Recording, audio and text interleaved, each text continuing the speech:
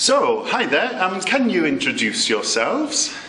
Uh, okay, I'll start. Uh, my name is Çiğdem Uğur, and uh, I work in a private school in uh, Izmir, Turkey. I teach grade 8 with my partner, Karin. Yes, and I'm Karin Tiraşin. I work at the same school. Uh, did you call? Did you say what it was called? It's No. called SEV, and uh, it's a K8 primary school, and we teach the grade 8 level.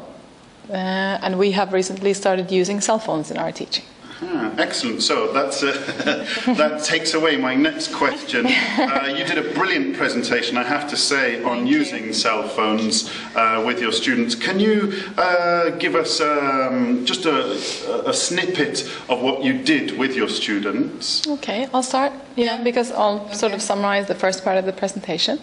What I did was I explained that we, um, when we decided to start using cell phones with the kids, the first step was to get parental approval and also to get permission from our, uh, the administration of our school. Because normally it is forbidden, it's even forbidden for the kids to bring cell phones to school and they're not allowed to have them in their lockers or in their pockets or anything. So we had to get approval. And uh, we went about that uh, by inviting everybody to a meeting. We discussed pros and cons. We came up with a um, acceptable use policy for the school that we all signed and decided to use for the future. And then we sent a letter home where we explained what we wanted to do, what the project would entail, uh, and we got permission from the parents to use the cell phones to post whatever they created uh, online. Um, and then we started, and we wanted to sort of explore the use of cell phones with kids, and, and we were new at it, and, and Brand new. excited, but of course ignorant as to how this was going to happen. So we decided to split it up into two different sections, and I'll explain the first bit, and then Çiğdem I'll explain the second second one. Uh, the first uh, part was to simply use the phones to replace cameras, video cameras, sound recorders, and only use them to collect data. And uh, to test that out, we um, grouped the kids. And we took them in, in groups of three, and they each had one, each group had one cell phone. And then we, we took them to the zoo, and we had them videotape themselves speaking. We had them take pictures of animals. We had them take pictures of signs, uh, posters around the zoo with grammatical mistakes in them or other mistakes because that happens in Translation Turkey. mistakes. And um, we decided to allow each group of three kids only one phone uh, for uh, several different reasons. One was to avoid that they, the phones were used for anything but the educational work. Uh, we didn't want them to access Facebook from the zoo. We didn't want them to do, uh, you know, other things with the phones. So they had a set of tasks. They had a, a a specific amount of time, and they had one phone. And so um, they did that. There wasn't a problem uh, at all throughout the field trip. And then we instructed them to go home, upload all the pictures to Facebook. They're 13 and above, so there wasn't a problem with that either. And upload their videos to YouTube. And then the next day, they came back and we brought them to the lab where we had each group create a web page using doodlekit.com. It's a free uh, web page creator, uh, Web 2.0 tool. And then um, they simply followed instructions. They put their videos there, their photos, they created albums, they used some different Web 2.0 tools to make really nice web pages. And we demonstrated those today. Um, yeah, that was the first part of the project. I have to say they, they were really nice web pages that your students made as well. Really nice. Thank you. And the second part was? And the second part was where we decided to use uh, the smart abilities of our phones because in the first part we di- really didn't use the phones as smartphones. Any cell phone could uh, record voice or take photographs or you know videotape.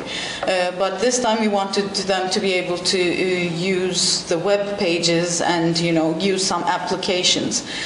Uh, so uh, to do this, plus in addition to uh, using the smart abilities, we also wanted to use all aspects of the language teaching. Like uh, we wanted to include reading and writing and speaking and listening and grammar into activities. Uh, and we didn't want to spend many many lessons on this. So what we came up with was of 80 minute block lesson divided into six different stations where one aspect of language teaching was used in each station. Uh, we had a station for listening, for writing, for speaking, uh, for um, reading, one for dictionaries, uh, and one for grammar games, and one was a treasure hunt, which they really liked. Um, would you like me to go on and explain each station? I think I'll, I'll link to your video just because it was a 30 Yes, minute yes, presentation. it's a long- good. it's Can a you long- give us just like a, a rough idea, like a, a condensed idea of the things that went well with this and the things that didn't go so well? Well, the kids loved it. That was the, the first and most important thing. They loved it. They were really engaged and motivated. And uh, even tasks that would normally not excite them, such as filling in blanks or uh, uh, using a dictionary really did excite them. And every time we would blow a whistle after every you know every station was supposed to be only 20, 12 minutes long and they would run to their station immediately read the instructions get on the phones and then when we would blow the whistle they would all go ah! and then run to the next it was really really good. And really good different Two- stations really helped with uh, different levels of language uh, with the kids. You know, there there are higher achievers and lower achievers, but there was something to do for each kid, uh, so they really enjoyed that too. Mm-hmm. Excellent. And I presume there must have been some downsides, some negative sides to it? Maybe, maybe not? Mm-hmm. Yes. Of course. Uh-huh. I'm let's admit it dear there.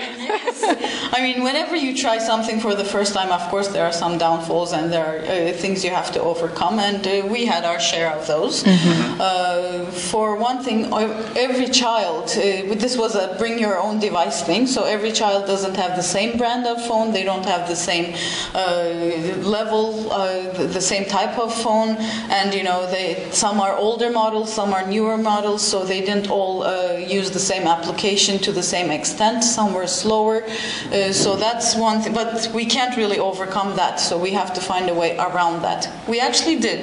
What we did was uh, we have two different types of phones between the two of us. Karin has an Android, I have an iPhone. So whenever one uh, phone failed in one area, we lended them our phones to compensate for that. Uh, and anything? Yeah, we're hoping that perhaps now that, that we will be able to impress our administrators with this project, they may agree to uh, buy maybe five phones that we can use as stand-in phones.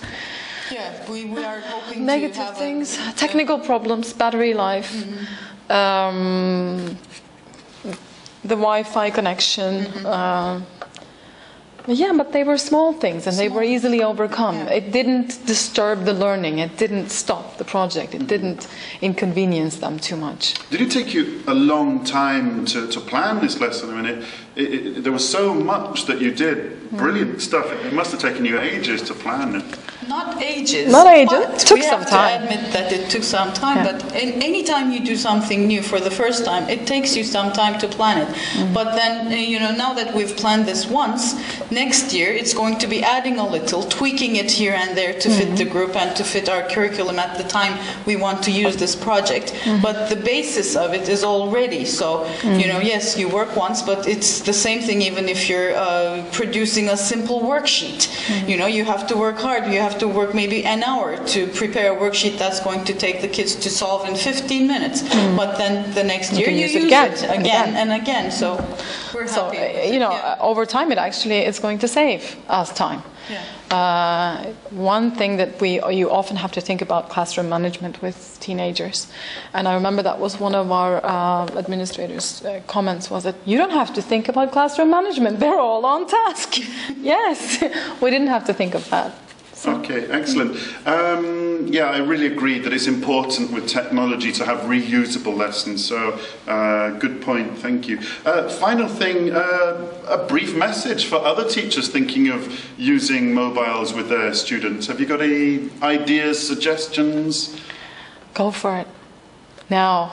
You know, watch the video that Watch the video because our kids have a lot to tell you. Yeah. So watch the video and see how the kids feel. I'm sure that will inspire you to do your own project. Yeah. Okay, thank you very much. It's been a real pleasure talking to you. Thank, Thank you. Thank you.